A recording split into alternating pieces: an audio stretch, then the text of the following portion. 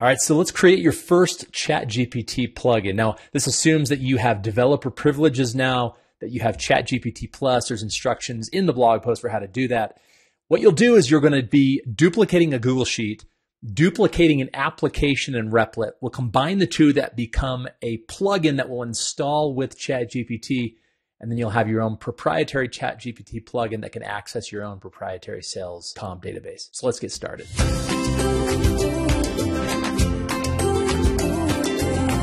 So here are the instructions. Again, first step is to register for ChatGPT plugin developer access, instructions in the blog post. Second step, we're going to head to this Google Sheet template link. Here you'll make a copy of the template sales comp database Google Sheet that I've created for this exercise. You'll arrive here, just change the name of this to something, say my sales comp database.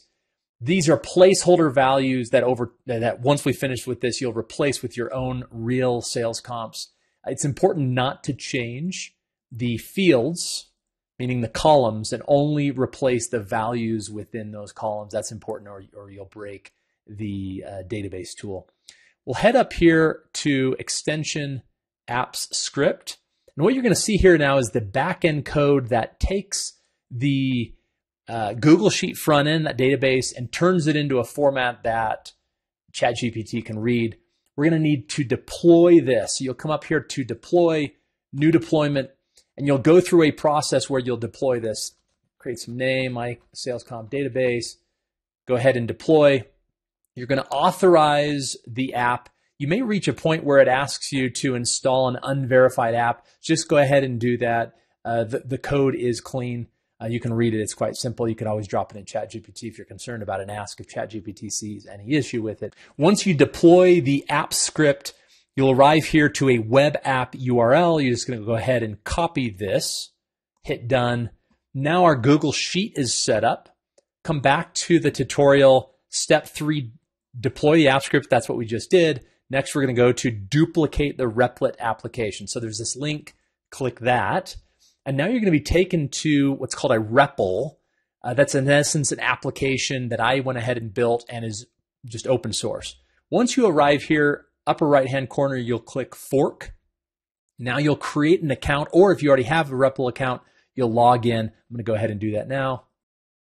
Once logged in, you'll arrive back at this REPL uh, upper right hand corner. You're going to see this fork again. Click that. Now we're going to fork this. Fork it means, in essence, we're going to duplicate it and it becomes our own. I'm going to call this my sales comp database fork REPL.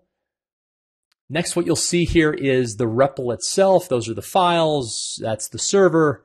And the first box that's going to pop up is configure missing secret values. So this application has some a secret value that's in essence a code. You're going to hit this manage secrets. And what it is, it's the Google App Script URL. That's that web app URL we copied when we deployed our uh, app script. So you'll just choose this, paste in that app script URL, hit the check mark. Our app script URL is done. With that, we're going to run our server. You'll click this, and what's going to appear here is a web view. And with the web view, now we have a URL.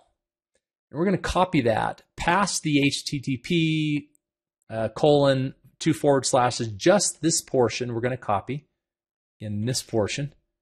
And we're going to paste it into, into three places in our application. We come out here to the far left, we see the files that make up our application. It's really three files. The first is an AI plugin.json file. This is called the manifest. It's what communicates to OpenAI the nature of this plugin, including its name, its description, some description for the plugin itself. And then you'll see this bracketed placeholder. Enter your Replit URL here. We're going to replace everything from bracket to bracket with that REPL URL that we just copied. Replace that. We'll do the same here. Now our AI plugin.json file is done. Next, we'll move to the openapi.yaml file. Again, here we have from bracket to bracket, we replace it with our REPL URL. I'm going to go ahead now and stop the server, and I'm going to run it again. Now that it's running, we're going to come to ChatGPT. And here in ChatGPT, now we have the Google Sheet set up. We have our, our Replit or our server set up with our application connected with our uh, app script web URL and then the URL for our REPL in the three places in those two files. With that set up, we can come to GPT-4 plugins and then come down and choose plugin store. If we've received ChatGPT plugin privileges, you'll have this develop your own plugin button down to the lower right. Click that. Go ahead and paste in our REPL URL and click find manifest file. If we did the previous step correctly, and we did, it will find the plugin. It will validate the manifest manifest file. That's the uh, AI plugin.json file. It will also validate the OpenAPI spec. That's the OpenAPI.yaml file. Those are the two files that it that it uh, validates. Click next, install for me, continue, install plugin. And now the plugin is, in, is installed. We want to make sure that it's checked, and we're going to test it. Uh, pull sales comps for multifamily properties sold, uh, built after 2010 in Atlanta. So we're going to pull some sale comps, multifamily sale comps built after 2010 in Atlanta, and going to confirm that this is working properly. You can check the query by opening this up You'll see it queries property type multifamily, Metro Atlanta, year built after or greater than 2010, and it pulls or and finds three properties, and then it outputs data around those properties. So our, our plugin is now working properly. Congratulations.